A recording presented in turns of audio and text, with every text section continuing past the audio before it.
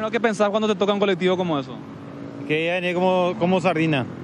Me siento todo mal luego cuando veo un colectivo que viene, nunca llego a hora en mi trabajo. Con la intención de renovar su flota, varias empresas de transporte optaron por comprar estos minibuses.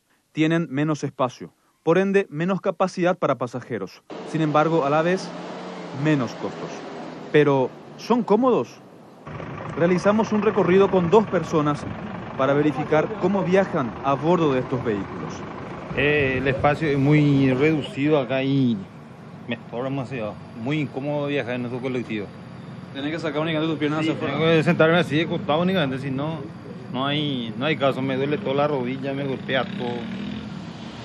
Si te subí con bulto, con criaturas, sí que ya es muy incómodo. Intentamos entonces con otra empresa de transporte, la línea 37C, pero el resultado fue el mismo.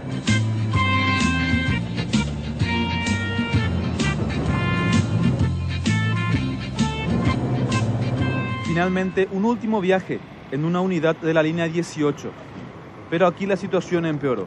El viaje fue aún más incómodo. Bueno, en este último, ¿qué tal? Peor que lo otro. En este no había espacio para eh, meter aunque sea la pierna. Ahora, ¿cómo viajaría en un bus así una persona con discapacidad física? Cuando ves que hay un ómnibus eh, de esos pequeñitos, automáticamente optas por no subirte en ellos.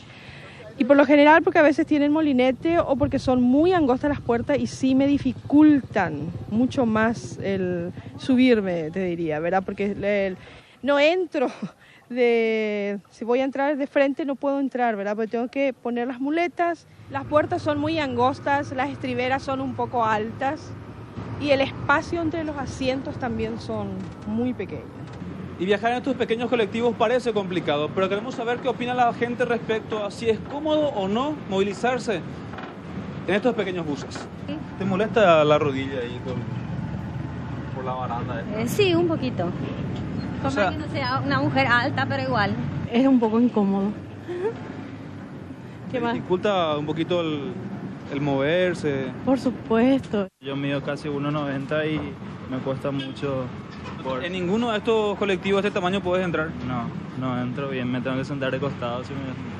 Aquí viene el bus que mueve a la masa, llevando salsa por donde pasa.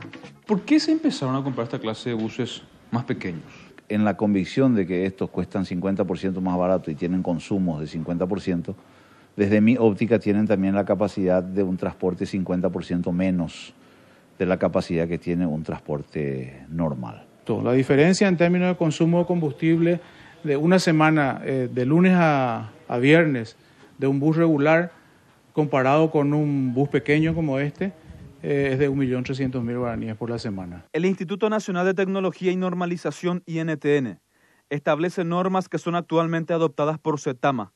Por ejemplo, para el espacio entre asientos, como mínimo debe ser de 30 centímetros entre el final de un asiento y el respaldo del que está delante.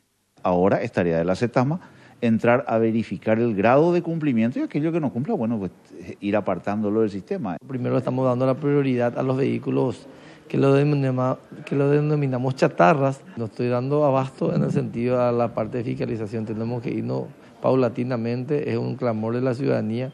La capacidad física de la CETAMA es el problema para controlar todo de una vez por todas, ¿verdad?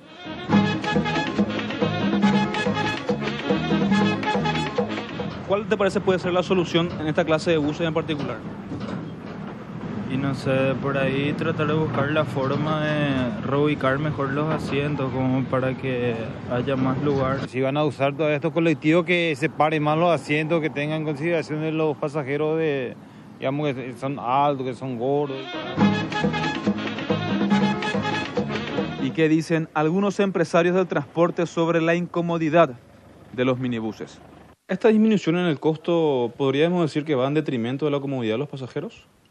No creo, tiene la misma capacidad de, de transporte, usted puede sentarse en uno de estos asientos, eh, tiene la misma comodidad. Entra el billetero con tablero y banco y en Mercedes-Benz pasa el rabiblanco. Hay una norma que establece el INTN que dice que tiene que haber 30 centímetros de distancia entre un asiento y otro. La IBESUR justamente usa esas normas de la INTN para inspeccionar nuestros ómnibus. Usted puede sentarse. ¿Es la base entre la base o es, Es- simplemente esto? Es, el, es de donde, es simple. finaliza, donde finaliza el asiento y empieza el respaldero del otro. Ah, no. Es lo que dice INTN. Ah, por lo menos las instrucciones que nosotros tenemos no la dice así. Entonces tendríamos que hablar de, de un tema de reglamentación, ¿no? Así que eh, es mejor no entrar en esto porque es, es básicamente una discusión que no, vamos a- no la vamos a terminar nunca. La IBESUR justamente usa esas normas de la INTN para inspeccionar nuestros ómnibus. La distancia entre asientos fue de 28 centímetros. No se ajusta a las normas, al menos, del INTN. En otra medición, un bus de la línea 18 tenía solo 17 centímetros de espacio para las piernas de los pasajeros. Es cierto, hubo problemas, eso no voy a negar. Ese problema de los señores carroceros que produce la carrocería, que no tienen en cuenta la distancia de un asiento a otro. Yo personalmente voy a subir y verificar, porque según los talleres tienen que ser 40 centímetros. Quieras o no, la- todas las empresas van a tener que ir adaptando sus transportes, ¿verdad? A ser accesibles para, para todos, para que todos podamos tener el derecho de acceder a un transporte público, ¿verdad? Y deberán ser los empresarios del transporte quienes adecuen sus minibuses, ya que aparentemente existe una incapacidad operativa por parte de la CETAMA para, por ejemplo, controlar los espacios entre los asientos. Mientras tanto, los pasajeros deberán viajar como pueden.